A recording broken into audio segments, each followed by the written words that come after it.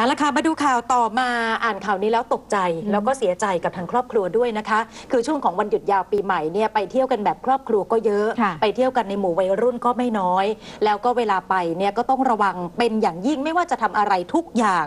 มีข่าวเมื่อวานนี้ว่ามีคนเนี่ยพลัดตกลงไป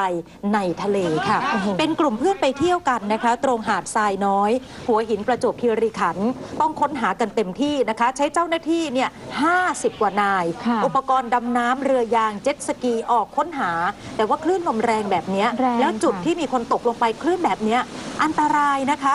เพื่อนของน้องเนี่ยเล่าให้ฟังบอกว่าคนที่ตกทะเล ชื่อว่านายจตุพลแสงทองหรือน้องแบงค์อายุ 15 ปีค่ะ ยังเรียนหนังสืออยู่นะคะ อยู่เป็นนักศึกษาปีหนึ่งวิทยาลัยเทคโนโลยี รัตนโกสินทร์หลักสี่มาเที่ยวหัวหินกับเพื่อน 8 คนนะคะทั้งคืนในตัวเมืองหัวหิน พอเช้า 31 ธันวาก็เช่าจักรยานยนต์กันมานะคะไปที่หาดเขาเต่า จอดรถไว้บริเวณด้านหน้าสำนักสงฆ์ถ้ำเขาเต่า แล้วก็เดินลัดเลาะ ไปยังหาดทรายน้อยนะคะแล้วก็นั่งพักชมความงามของหาดทรายน้อยกัน เป็นหาดขนาดเล็กมีโขดหินน้อยใหญ่อยู่ด้านหัวหาดทั้งสองด้านนะคะแล้วก็ถ่ายรูปแน่นอนว่าไปตรงจุดสวยๆ มีการถ่ายรูปค่ะแล้วน้องแบงค์เนี่ยยืนหันหลังให้ทะเล ให้เพื่อนถ่ายรูปตัวเองกับวิวทะเลค่ะอืมแล้วจังหวะนั้นเนี่ยเพื่อนบอกสงสัยน้องแบงค์จะลื่น เพราะว่าโขดหินเป็นตะไคร่ไง แล้วอย่างที่เราเห็นเห็นคลื่นแบบคลื่นแรงก็จะมีน้ำซัด ขึ้นมาบนโขดหินตลอดเวลาค่ะน้องแบงค์ก็เลยเสียหลักตกลงไปค่ะ ตกลงไปจากลานหินลงไปในทะเล ก็ยังมีภาพถ่ายนะ ภาพถ่ายนาทีที่ก่อนน้องเนี่ยจะตกลงไปเพราะว่าคือยืนแอคชั่นอยู่แล้วค่ะเพื่อนก็ถ่ายก็ถ่ายก็ถ่ายไป แล้วน้องก็ลื่นตกลงไป ต่อหน้าต่อตาเพื่อนๆทั้งกลุ่ม แล้วเพื่อนก็พยายามจะช่วยแต่ว่าไม่ทันจริง ๆ น้องแบงค์เองพยายามจะตะเกียกตะกายให้ขึ้นพ้นมาจากคลื่นตรงนั้นค่ะแต่คลื่นลูกใหญ่มาก หายไปกับ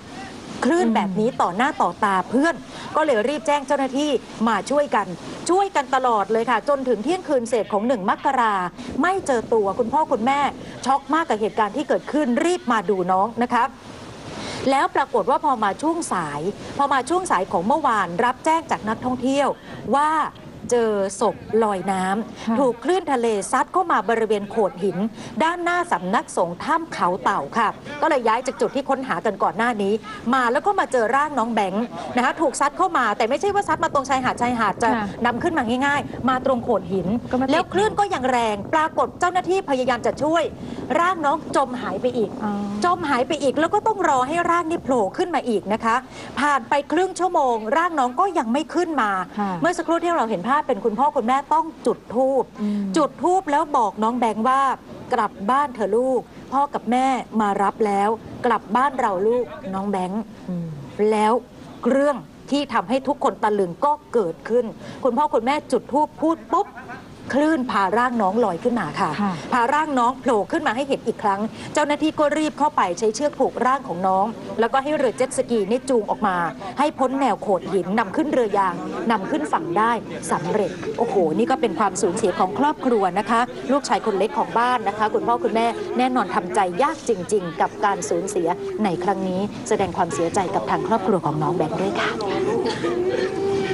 แสดงความเสียใจแล้วก็ถือว่าเป็นอุทาหรณ์ใช่นะค่ะคะสำหรับนักท่องเที่ยวด้วยที่จะเดินทางไปเที่ยว แล้วก็ถ่ายรูปนะคะคือหลาย ๆ ครั้งเราไม่รู้สึกว่าตรงนั้นเสี่ยงภัยหรือว่าอันตรายอย่างไร หลายปีก่อนหรือเมืองไทยหรือต่างประเทศก็มีถ่ายตรงเชิงเขาค่ะบนดอยบนอะไรแล้วก็ตกลงมามีเสียชีวิตก็มีเหมือนกันอันตรายนะคะ